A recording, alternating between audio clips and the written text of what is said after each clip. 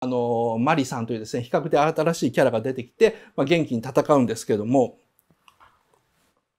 あの、やっぱり見てて面白かったのはですね、あの、マリが乗ってる8号機ですね、エヴァンゲリオン8号機がですね、まあ、あの、戦闘になると目の前にこう丸いディスプレイが出てくるんですね。で、丸い光るあの、ディスプレイだと思った瞬間にそれを掴んでぐるぐる回すんですよ。まあ自動車のステあのステアリングと同じで。で、表示されてるものをいきなり掴むっていうのは、そのアドベンチャータイムとかと同じアニメーションにおいて現象というのをまるで物理というように扱うというですね、あそこはちょっと珍しいギャグシーンでしたね。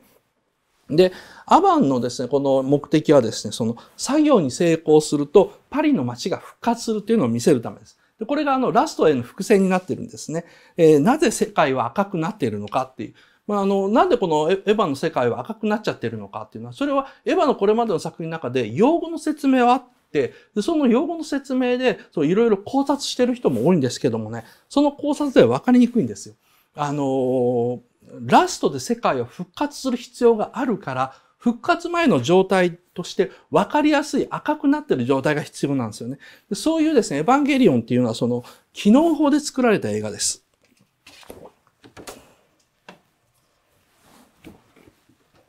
エヴァの作劇っていうのは機能法なんですよ。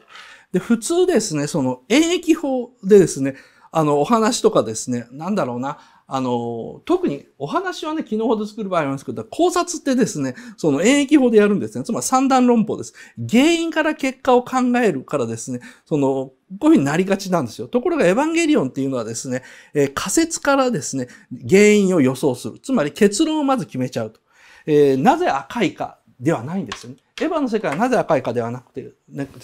赤くしなきゃいけない。世界を真っ赤にしたいんだけど、なんかいい理由ないかなっていうのがですね、エヴァのその作り方なんですよね。だから原因はあの、設定を考察するですね、演疫法の思考ではですね、なかなか届かないんですよね。